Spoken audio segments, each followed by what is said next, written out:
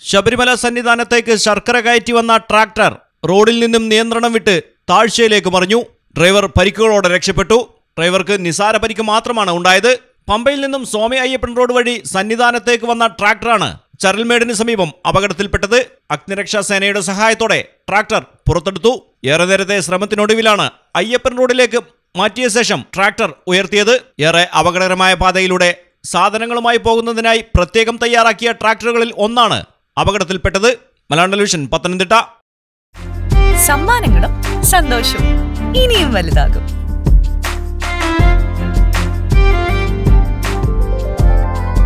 കാരണം ഇനി എല്ലാ ആഘോഷങ്ങളും കവിതയിൽ നിന്നാകും.